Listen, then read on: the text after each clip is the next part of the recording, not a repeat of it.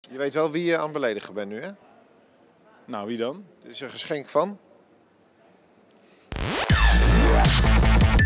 Het is reces in Politiek Den Haag. Even geen vandaag in Den Haag dus deze week. Wel is de kunstcommissie in Den Haag druk bezig met het herbeoordelen van de kunst in de Tweede Kamer. Nieuwkomer Thierry Baudet heeft dan wel geen veto en moet het eerst nog eens worden met Alexander Pechtold. Maar uitgesproken is hij uiteraard wel. Thierry, jij bent eh, nou sinds kort onderdeel van de kunstcommissie in de Tweede Kamer. En dat betekent dat jij gaat doen? Uh, het huidige uh, arsenaal aan kunstwerken evalueren en beheren. En nieuwe kunst aankopen en ook kunst afstoten. Verantwoordelijkheid? Ja, en het is ook nodig, want heel veel van wat hier hangt nu in de Kamer is echt foeilelijk.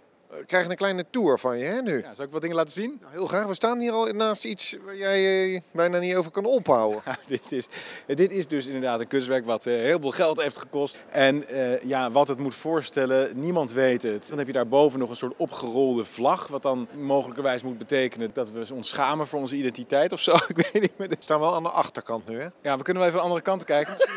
Wil je? Kom. Ja, dat zou wel helpen, ja. Een van de grote problemen in het land is dat wij niet meer trots zijn op wie we zijn. Dat we niet meer durven te staan voor wie we zijn. Wat heeft jou dit soort kunst nou te maken met dat wij niet trots zijn op onze identiteit? Een schelp. Als je nou dit huis vol zou hangen met trotse schilderijen over onze geschiedenis, dan draag je bij aan die bewustwording. Terwijl hiermee ondermijn je het juist. Je weet wel wie je aan het beledigen bent nu, hè? Nou, wie dan? Dit is een geschenk van? Koningin Ja, Beatrix. koningin Beatrix. We gaan verder. Oké. En hoe gaat het dan eigenlijk? Dan, dan mag jij nu zeggen per uh, stuk wat in de Kamer staat, die moet weg of die mag niet weg. En dan zegt Alexander Pechtold, hè, waar je mee ook in die commissie zit, van nou, dat ben ik niet met je eens, Thierry. Ja, ze zijn uh, voor de verzwakking van Nederland. Ze zijn voor de verzwakking van onze culturele identiteit enzovoort. Dus dat gaat gepaard met een bepaalde visie op kunst. Hier zien we ook weer een voorbeeld ervan.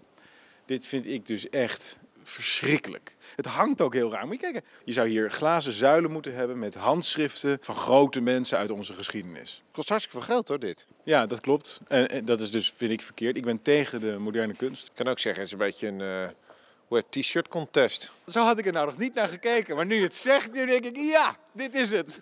Onheimisch is het niet. Ja, ik moet je nog iets laten zien. Kom, we gaan nog even verder. Dit is de oude zaal, hè? Dit was de oude zaal, zou je eigenlijk moeten zeggen. Hoe verzin je het? Kijk nou gewoon naar dit vloerkleed. Wat dit was? Dit, dit, was de oude vergaderzaal van de Tweede Kamer. Een tempel van onze parlementaire geschiedenis. En er is niet één land dat dat dan belachelijk gaat maken. Het is zo typisch weer voor Nederland. Wij zijn kaaskoppen. Wij hebben geen identiteit. Dat is dus precies wat je terugziet in het immigratiebeleid, in de EU, in de manier waarop we de multinationals alles laten opeten. Dat komt allemaal bij elkaar in dit vloerkleed. Juist, ja, dat vind ik. Dit is ook weer een duidelijk voorbeeld van wat ik bedoel. Dit is een van de oudste stenen toen dit gebouw werd neergezet enzovoorts. Maar door het op zo'n wand te plaatsen met zo'n hele moderne klok erboven, maak je het eigenlijk belachelijk. Het is een beetje zo'n bordje waar mensen ook een bordje home op hun uh, hebben staan. Dat. Ja, ja, home is where the heart is. Ja. Zoiets, ja. Niks, nee?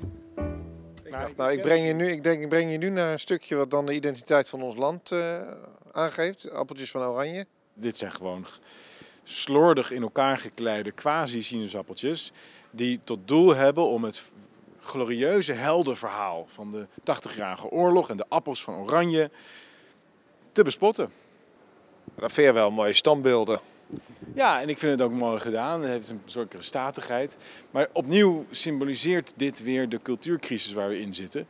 Omdat namelijk dit niet beelden zijn van helden uit onze geschiedenis enzovoort. Maar het zijn random uh, naast elkaar gezette beelden die toevallig ergens op zolder werden aangetroffen. Dachten ze, daar moeten we ook wat mee. Je krijgt natuurlijk wat gedoe als je hier dan weer die, die types neerzet. Dat het weer VOC is en het zijn slavendrijvers en dan moet het weer weggehaald worden. Dus op zich is het wel een beetje een veilige keuze ook dit. Ja, maar daarmee sla je denk ik ook de spijker op zijn kop.